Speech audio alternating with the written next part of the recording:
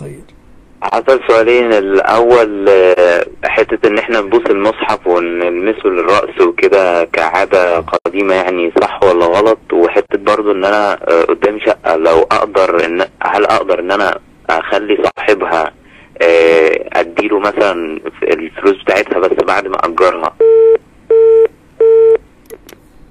تقبيل المصحف ما ورد فيه شيء عن رسول الله صلى الله عليه وسلم. لكن ورد عن كلمة بن أبي جهل بسند منقطع عنه أنه كان يفتح المصحف ويقبله ويقول كتاب ربي كتاب ربي. سنده إلى كلمة فيه مقال.